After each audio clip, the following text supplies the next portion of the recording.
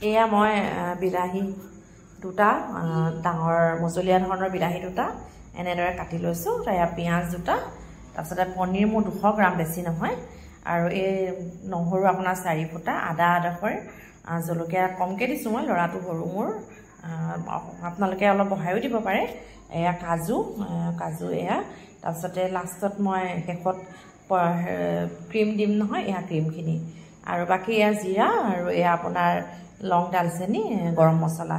ইমানখিনি সামগ্ৰী চাওঁচোন আহক আমি কেনেদৰে বনাওঁ। হেল্ল' এভৰি ওৱান কেনে আছে আপোনালোক? আশা কৰিছোঁ সকলো ভালে আছে। মই আজি মোৰ এটি নতুন ৰেচিপি আপোনালোকৰ আগত শ্বেয়াৰ কৰিবলৈ লৈছোঁ চাহী পনীৰ। আপোনালোকে হয়তো সকলোৱে এনেদৰে বনাই খায়েই। তথাপি মই আজি যেতিয়া বনাবলৈ লৈছোঁ ভাবিলোঁ ভিডিঅ' কৰি আপোনালোককো মইনো কেনেকৈ বনালোঁ তাকে আপোনালোকৰ লগতো শ্বেয়াৰ কৰোঁ।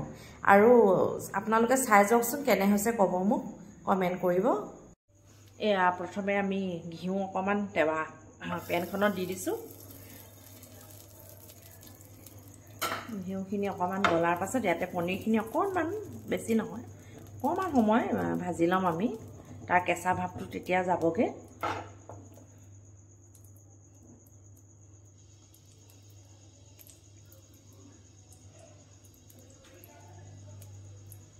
ইয়াতে এতিয়া মই পনীৰকেইডোখৰ দি লৈ অলপমান ভাজি ল'ম।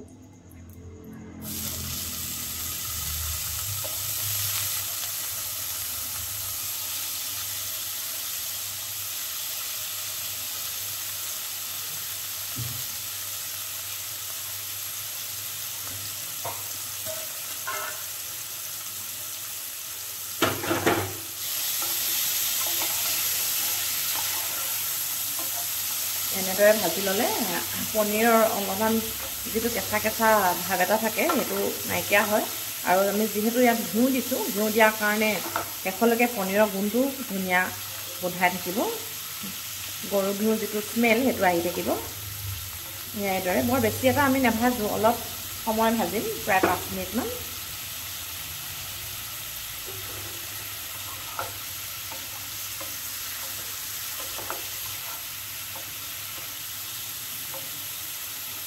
মই জুই ফ্লেমটো বঢ়াই নাই দিয়া কমাই থৈছোঁ।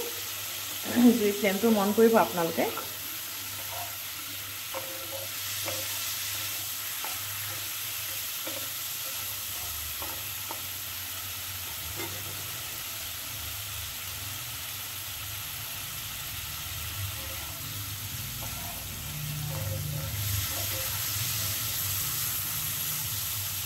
পনীৰৰ বহুত কিবা কিবি ৰেচিপি বনাব পৰা যায়। তথাপি বেছি বিখ্যাত আপোনাৰ চাহী পনীৰটোৱে। আমাৰ সৰু সৰু ল'ৰা ছোৱালীবোৰেও মিঠা পায়। চাহী পনীৰটো খাই খুব ভাল পায়। মোৰ ল'ৰাটোৱেতো সাংঘাতিক ভাল পায় চাহী পনীৰ। এতিয়া অলপ ভাজি ভাজিলোঁ আমি। এতিয়া আমি ইয়াত আৰু বেছি দেৰি ভাজি নাথাকোঁ। এইখিনি এতিয়া আমি এনেদৰে ইয়াত কাঢ়ি থ'ম।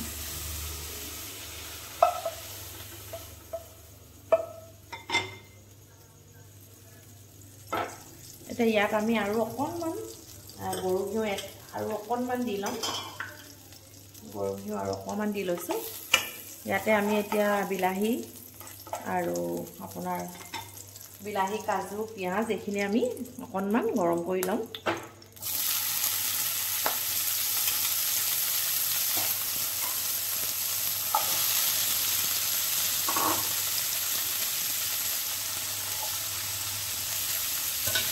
এইখিনি অকণমান ভাজি ল'ম আমি ইয়াতে।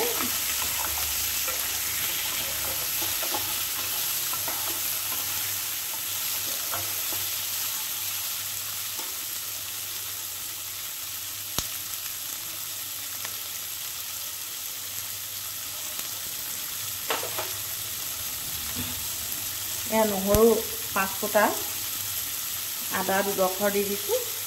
জলকীয়া কেঁচা জলকীয়া বৰ বেছি নহয়। সৰু সৰু মই দুটি দিছোঁ। আপোনালোকে বহা বহাই কমাই ল'ব নিজৰ প্ৰয়োজন অনুসৰি। এইখিনি এতিয়া আমি অকণমান দেৰি ভাজি ল'ম।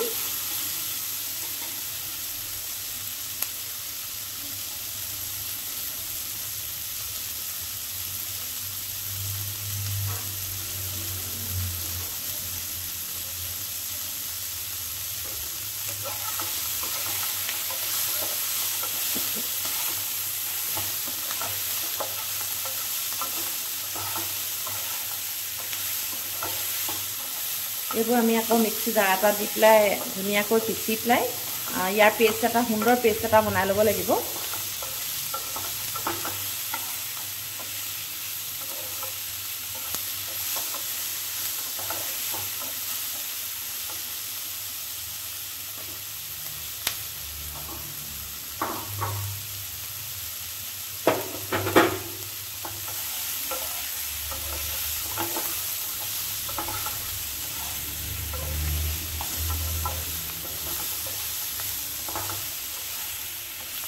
এইখিনিও হৈছে প্ৰায় আধা ভজা আৰু মিক্সি জাৰত যিহেতু আমি দিমেই সেইবাবে আৰু ভাজি নাথাকোঁ আমি।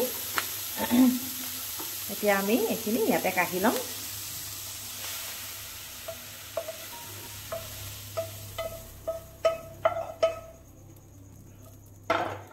এইখিনি এতিয়া অকণমান ঠাণ্ডা হোৱাৰ পাছত মই মিক্সি জাৰ এটা ধুনীয়াকৈ ফাইন পেষ্ট কৰি ল'ম।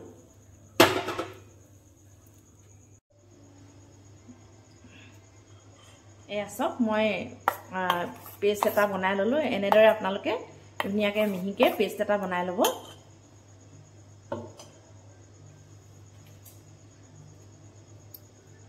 এতিয়া ইয়াত মই অলপমান তেল ৰিফাইন এড কৰিছোঁ। বেছি নহয় অকণমান।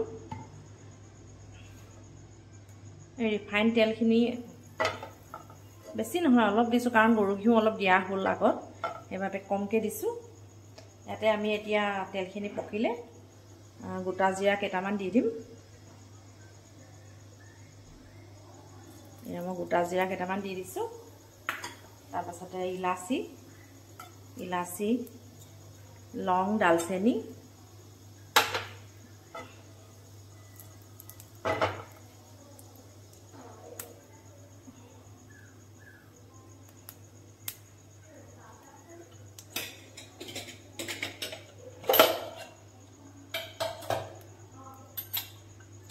ইয়াতে এতিয়া অলপমান জিৰা গুড়ি অলপমান ধনিয়া গুড়ি অকণমান ৰঙৰ কাৰণে জলকীয়া গুড়ি বেছি নহয় অকণমান ৰংটোৰ কাৰণে দিছোঁ। এইখিনি এতিয়া সুন্দৰকৈ লৰাই লওঁ।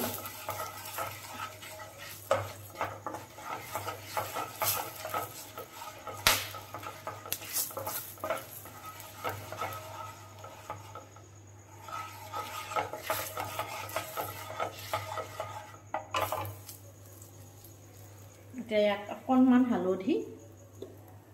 বেছি নহয়, যিহেতু আমি জলকীয়া গুড়ি অকণমান দিলোঁৱেই, ৰঙৰ কাৰণে বেছি নহয়, অকণমান হালধি দি দিম।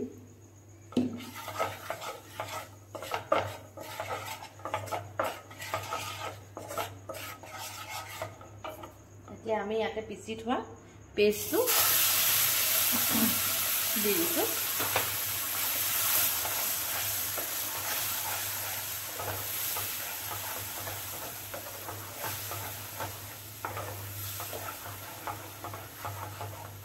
এতিয়া আমি ইয়াতে নিমখ প্ৰয়োজন অনুসৰি নিমখটো দি দিম। আৰু আপোনালোকে ইয়াত ঠাণ্ডা পানী ইউজ নকৰিব। ঠাণ্ডা পানীয়ে ইয়াৰ সোৱাদটো কমাই দিব। সেইবাবে সদায় গৰম পানী বা কুহুমীয়া পানীহে এড কৰিব।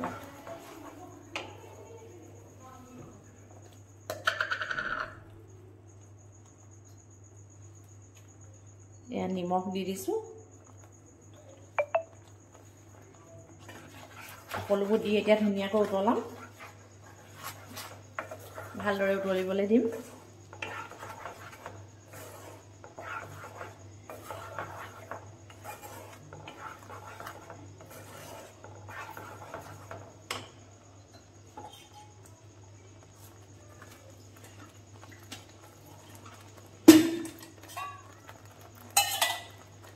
অকণমান হেৰিটো আপোনাৰ ডাব ডাব যেন পাইছোঁ সেইবাবে অলপমান পানী দি দিছোঁ। এইটো কথা মন কৰিব যাতে প্ৰতিবাৰতে গৰম পানীহে আপোনালোকে ইউজ কৰিব। ঠাণ্ডা পানীয়ে তাৰ সোৱাদটো কমাই দিব। এতিয়া এইখিনিয়ে ভালদৰে অলপমান ভাজিব লাগিব।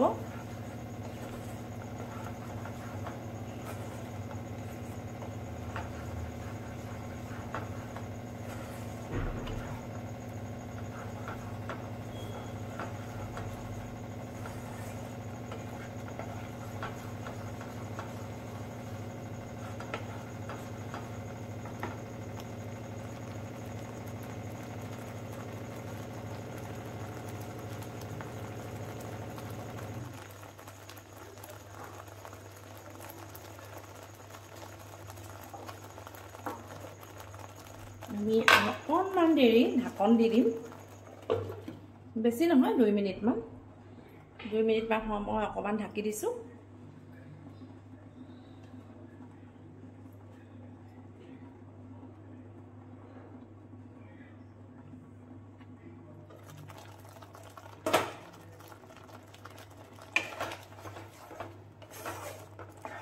এতিয়া আমি ইয়াত পনীৰখিনি এড কৰিম।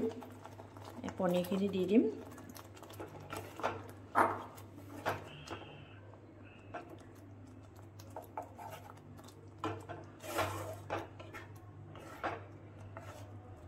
এতিয়া আমি অকণমান দেৰি আকৌ দুই মিনিটমান ঢাকি দিম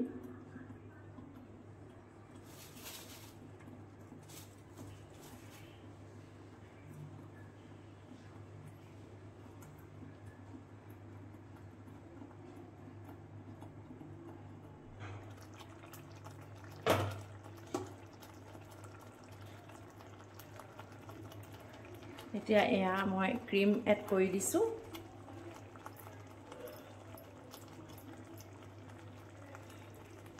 ক্ৰীমটো পূৰা ডাঠ হৈ আছে। আমুল ক্ৰীমেই হয়। আমুল ক্ৰীম বা বেলেগ যি ভাল ক্ৰীম পায় তাকে আপোনালোকে ইউজ কৰিব পাৰে। আমুল ক্ৰীমেই দিব লাগিব বুলি কথা নাই।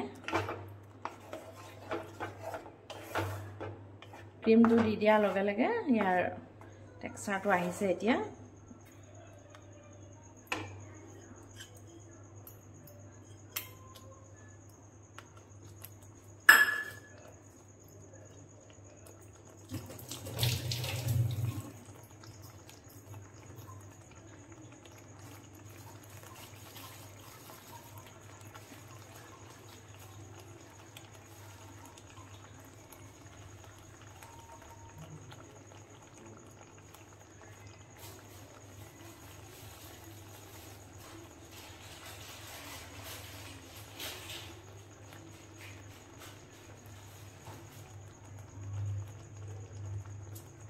একেবাৰে শেষত আপোনালোকে। ধনিয়া যদি থাকে ধনিয়া কটা ধনিয়া অলপ দি দিব নহ'লে যদি কস্তুৰী মেথি বুলি কয় সেইটোও দিব পাৰে। মই মোৰ ওচৰত এতিয়া ধনিয়া নাছিলে সেইবাবে মই কস্তুৰী মেথিকে দি দিছোঁ। কস্তুৰী মেথিটোৱে ইয়াৰ গোন্ধটো বৰ ধুনীয়া লাগে। ইয়াৰ গোন্ধটো গোন্ধৰ কাৰণেই দিয়া হয় কস্তুৰী মেথি বা ধনিয়া। ধনিয়া যিহেতু মোৰ হাতত নাই এতিয়া সেইবাবে মই কস্তুৰী মেথি দি পাঁচ মিনিটমান সময় এতিয়া ঢাকি দিম। পাঁচ মিনিটমান সময় ভাপতে সিজিব দিম। তাৰপাছত মই আপোনালোকক দেখুৱাই আছোঁ।